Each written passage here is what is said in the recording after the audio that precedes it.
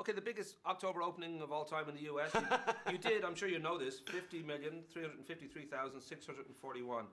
You, you guys must have been stunned because uh, the whole the whole industry sort of woke up on Monday morning and said, "What the fuck just happened there?" That's the same thing we said. you know, we thought we were just hoping to be number one, and thought we would maybe hit 30, and then it kept going up all weekend. And It was like Einfeckel, Galfeckel. yeah, three fuckle. Ain't Have no idea. Yeah. yeah, there you go. But that notion too that that here, here is a movie as you say in a way everyone just expected it to be a nice sort of you know here we go the third time around. It felt like a farewell almost because even the movie itself ends with a little bit of little photos from the kids and and Wee Man saying you know we've we've pretty much said all we have to say. I mean, this notion that, that there is a, a huge audience out there ready to go and see this, were you absolutely proud of your fellow Americans? Were you a little bit mildly ashamed, thinking, you guys all went to see this movie about us having our nuts, you know, beaten and, and dragged across hedges and all that? How, how did you feel about uh, the fact that this is, this is what people want? We love it, man. Yeah, I we think- love that everyone showed up. I think it's good timing for people to laugh right now, you know, and that's all it is. It's light, you know. It's just fun. Go out and take the piss out of your buddies, you know. Maybe take a piss on your buddies. And maybe take a piss out. Well, of course, there are those who would argue that the Jackass, in a way, is the Three Stooges of its time. There is a sense that you know this is valid, that people will look back on it and say, you know, this is exactly what you know the zeitgeist was about. That people, especially the in- internet, gives this sort of notion of, you know, man getting hit by football in the groin is, you know, instinctively funny. It just made me giggle. There you You're just saying that made me giggle. But would you would you regard it when you're making them as a little bit of high art, or is it completely just you know happy dumb fun? Yeah. It's uh, happy dumb fun for me. Art's the last thing I'm thinking about when we're shooting. You know, we we we're, we have a lot of creative people on our in our little group, so there there is some creativity there. But for the most part, to intellectualize what we do and to make it about art, it Yeah. just seems a little crazy to me. yeah, Like, yeah. But that notion that, that, as I said, there will be those who will view this as a, as a great kind of reflection of, of what we're going through and, and, and, and what our times are about. I mean, would, you, you know, have a, a great pride in them? Would you just see them as a fun weekend, as, a- as a, notion of something that you just did with your mates? Uh, I mean, I'm just curious from the point of view of when it comes to making them, whether there's a, a sit-down discussion or whether it's just a, let's just see what happens. Well, it's both. I mean, you know, we, we take great pride in the work and we work very hard. I mean, this doesn't just slop together, you know, it's very crafted and on all levels of it. But uh, in the same sense, you know, Yeah, we start with uh, we'll have three or four ideas. This is what we're going to shoot today, and it usually veers wildly off the course, you know. But we've all been together so long that we can veer wildly off the course and get great stuff because everyone has the same sense of humor. And nothing is as fun as shooting Jackass. Like for every cast and crew, everyone loves it.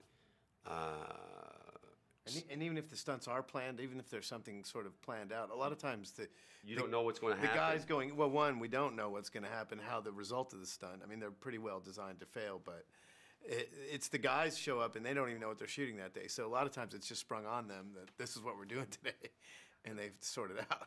That Monday morning must have changed your, your feelings about the possibility of going on because Wee Man does sort of imply at the end that you've sort of wrapped it up, but I, I would imagine given does the fact- Wee Man re- imply it? He's just What'd he talking at say? the end, doesn't he? He just sort of mentions the fact that we've done it all, or we've said. what we He's just grumpy say. in the baby suit, and he does say something like that. Oh, that was from 10 years earlier. You know, that was him, or that was on number two. Uh, no, this is on this. Uh, it was from the. It was from the TV show. Okay, yeah, Uh, he gets, right. he's a grumpy baby sometimes. That wasn't The, you know, uh, part of that was, you know, it wasn't necessarily shutting the book on Jackass. It was. Uh, It's our 10 year This movie lands right on our 10 year anniversary, so it was sort of a tribute to the 10 years of work we've done up to this point. Uh, we've made each of these movies as if it was the last. We really believed it was the last on the first movie we made. The second movie, we thought, all right, that's it. Now we're here talking about a third, so we've pretty much come to terms with the fact that we're not going to say there's no future or there is a future. we're just going to look down and walk forward. Well, it was picked up by the LA Times and a few others that you have enough material for a, for a second. You, like out of the material you've shot, another movie. I don't know whether that's on the cards or whether you. yeah, the, uh, we're going to release 3.5 in January of, we, we shot two movies worth of uh, footage because once we start, we don't stop. Uh, so we, that, we have, uh, there's so many great bits that didn't make the movie because it was so competitive this time, and so 3.5 will be really great. And the idea is, I mean, I, I, I'm, I love the fact that I'm going to see Bonnie Prince Billy, you know, wrestle a, a gorilla in a hotel room. and, and, and the midget bar fight was just incredible. That notion that the whole thing just plays out, and I don't want to give too much away on it, but You can. fantastic piece of comic genius that constantly more midgets come in, cops, paramedics, all that kind of stuff. It's a funny story about that because uh, w- w- that idea was even bigger. We one of the midget cops was on a midget horse. But he wouldn't come in the bar. I was trying to push the horse into the bar. We couldn't get the horse to go into the bar, so he was just sitting there outside of the bar on a mini horse.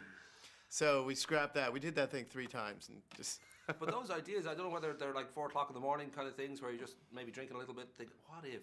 Or how do they, you know? They come at any time, Yeah, you time, kind of never know when your little moment of genius is going to happen. But he and I have shared an office for so long that a lot of times we'll just, you know, I'll scribble something down and he'll laugh at that and then add on to it. Our, almost all of our ideas have a lot of each other's fingerprints on them. You know, whoever started the idea, it's not usually how it got shot. It usually ended up being touched by everybody.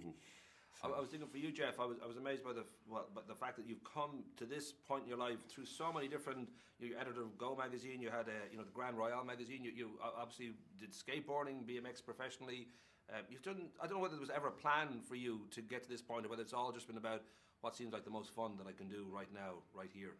Was Spike involved with Grand Royal? Yeah, I, I did a few things, but I didn't really. Big uh, Brother and stuff. like I that, did Big see. Brother, yeah, and I wasn't a. For some reason, people think I was a professional bike rider. I was. A, Oh, okay. I was, well, that's, I was- that's listed somewhere. You know, I rode for a And bike shop, Milk. but was- you, you were singing with yeah. the band Milk and all. You just seem to have had a huge amount of too much, almost too much fun for one person to be Yeah, at this point. multi-talented and uh, art history major or something. What were you? fine art. Major. Fine art. There Don't go. get mad. See, he gets I mad. knew there was fine art involved. Don't this fuck movie. with I, his I feel art. in my bones that there was something going on here beyond mere gags. But the, the, the pl- was there ever a plan about this, or is it just about? To you know, I never would have guessed if you would have asked me when I was 20 that I would get into television and film production. I had no, just like it just happened. If you'd have three number one movies and be in the Museum of Modern Art. That's right.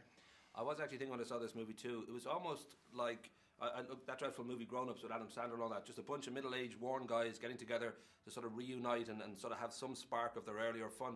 This is almost like a funny Grown Ups, and, and you know you're, you're maybe Sandler. And, I don't know if they're going to appreciate that Well, uh, but- compare. it's like a funny grown-ups.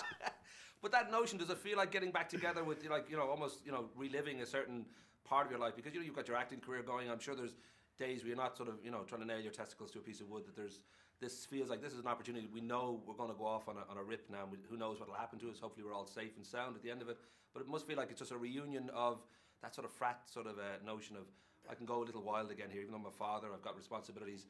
I can put myself in danger with my mates. Yeah, it's uh, I don't know. It's uh, we've been. It's just uh, it's great getting the band back together to go fuck around for sure. And This sort of, you know, this stupidity is what we're really good at. You know, Like, it's the one thing we found that we're, you know, this is what we do. So Yeah. it's whether we're 40 or whatever, you know, like it doesn't feel like age is confining us to our bad behavior.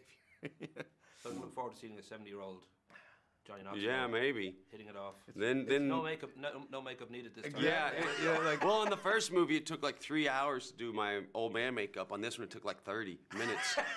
you know, Something to look forward to. You just have a quicker shooting. Yeah, you yeah, won't- You be won't, remember, cheaper. you won't remember the pain as well. Yeah. so that'll be good. Rock and roll, guys. Lovely to talk to you. Yeah. Thanks, man. thank you, I'm nearly close enough to shake your hand. Yeah. Cheers, guys. thank you, And man. any, any plans while you're here? Uh, just